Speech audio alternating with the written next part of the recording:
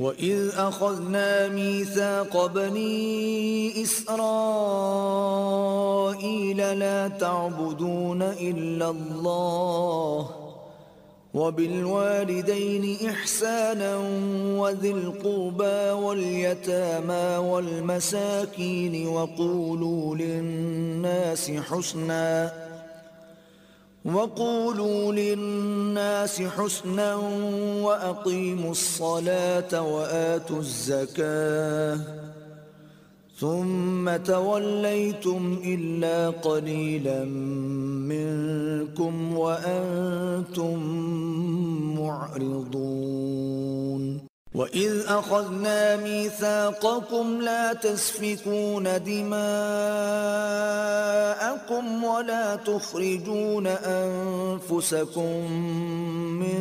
دياركم ثم أقررتم وأنتم تشهدون ثم أنتم هؤلاء تقتلون أنفسكم وتخرجون فريقا منكم من ديارهم تظاهرون عليهم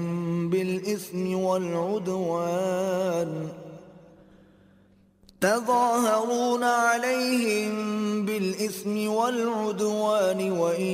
يأتوكم أسارا تفادوهم وهو محرم عليكم إخراجهم أفتؤمنون ببعض الكتاب وتكفرون ببعض فما جزاء من يفعل ذلك منكم إلا خزي في الحياة الدنيا ويوم القيامة يردون إلى أشد العذاب. وما الله بغافل عما تعملون. أولئك